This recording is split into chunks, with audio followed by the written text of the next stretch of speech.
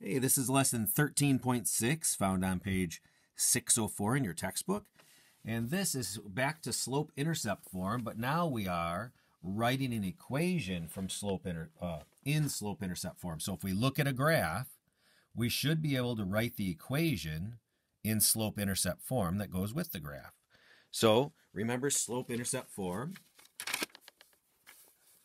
is y equals mx plus b, where m is the slope and b is the y-intercept or where the line crosses the y-axis. So for this example 1 here, we'll just put example 1, the y stays y and the x stays x, but the slope here would be, well, let's see, it's going um, down 3 and over 2. So negative 3 over 2. That's the slope, so we put it in place of m. And the y-intercept is uh, 5. The line crosses the y-axis at 5, so that would be a positive 5. So here's the equation. y equals negative 3 halves x plus 5. And let's look. y equals negative 3 halves x plus 5. Oops, that was an example 1. That was example A. For example B, same kind of problem. We look at that and we say, okay, well, it's going to be y equals something x and then the um, y-intercept here, and we'll look for the y-intercept first, and here it crosses the y-axis at negative 3. So instead of plus anything, we'll put minus 3. We could put plus negative 3, but we can just put minus 3. And the slope here it goes up one, two, three, four, five, and over one, two, three. So rise over run, 5 over 3. So the equation for this line would be y equals 5 thirds x minus 3. And we have y equals 5 thirds x minus 3 right there. On your own problems are going to be uh, hopefully as simple. And we look at those. And I'll write the uh, y-intercept for a uh, slope intercept form again. y equals mx plus b. so that's what we're trying to find. And for number one on your own, the y stays the y and the x stays the x.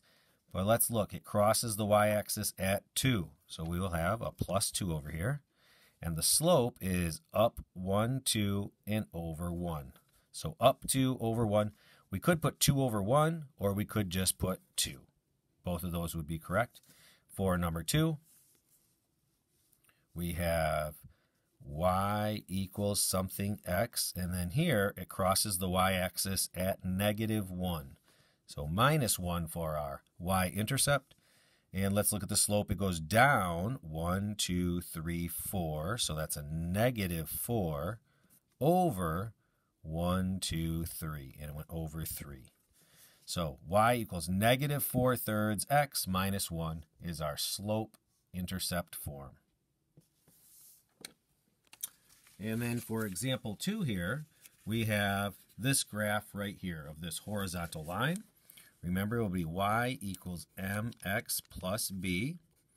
y equals, let's do the y-intercept first. It crosses at 1, 2, 3, negative 4, so minus 4. And then let's look, oh, it's a horizontal line. There is no rise to our run, so it's 0 over 1, 2, 3. 0 over 3 is just 0.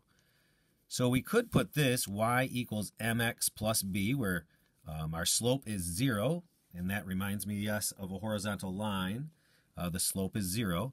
But if we wanted to remember that 0 times x is going to be 0. This would just be y equals, and we're just left with our y-intercept, negative 4. y equals negative 4 is actually in slope-intercept form because the slope drops the x term out because the slope is 0. So y equals negative 4. And they got the equation y equals 0x plus negative 4 or just y equals negative 4. So if we were doing this, which equation is shown for this graph, y equals negative 4 is the only correct answer there. And here's a clever on-your-own problem. Number 3, write an equation of the line that passes through 0, 5 and 4, 5. And of course, we could just graph it and then do it like we have been. But let's look at that without graphing it. Well, we want y equals mx plus b again. And we can look and 0, 5, when x is 0, y is 5, that is our y-intercept. When x is 0, y is 5. So now we have y equals something x plus 5. That point right there was the y-intercept. Well, now we have to figure out the slope, and we can do that without a graph. Remember, change in y over change in x. So y1 minus y, or uh, y2 minus y1 would be 5 minus 5 on the top, and then um, 4 minus 0 on the bottom, 4 minus 0 on the bottom, gives us 0 over 4, which is just 0. So our slope is 0 here. That lets us know this would actually be a horizontal line passing through 5. So we'll put a 0 in here, and then we'll simplify to y equals 5. A horizontal line at y equals 5. Because that lesson went so quickly, let's just run through some of these problems over here. Number 5, remember we're putting these in slope-intercept form, which is y equals mx plus b. So y equals something x. And then let's look our y-intercept for number 5. It crosses at 4, so this would be plus 4. And our slope is up 1 over 1, so 1. y equals 1x plus 4, or you could just write y equals x plus 4. For number 6, we have y equals something x, and we look for our y-intercept, and it's the origin, so it's actually crossing at plus 0. And our slope is 1, 2, 3, 4, 5, 6. So down 6, negative 6, and over 1, 2, 3, over 3. If we simplify this, it'd be y equals, this simplifies to negative 2x, and I can drop that off, so y equals negative 2x. And for number 7, y equals something, x something. Let's look, it crosses the y-axis at 1, so plus 1 is our y-intercept. And for our slope, it goes up 1 and over 1, 2, 3, 4 y equals 1 fourth x plus 1, which is already simplified. For the three problems down here, number 8, y equals, and now our slope here is down 1, 2, so negative 2 and over 1, 2, 3, 4. And it crosses the y-axis at 1.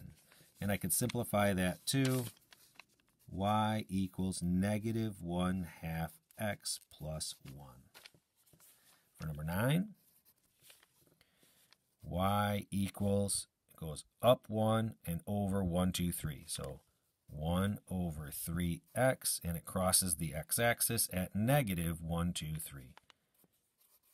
y equals negative 1 third x minus 3. And then for number 10, y equals, it comes down 1, 2, 3, 4, 5, so negative 5 over 1, 2, negative 5 over 2x, and it crosses the, x or the y-axis at negative 1, so minus 1. Excellent. We'll head over and do journal page 318, which is for lesson 13.6.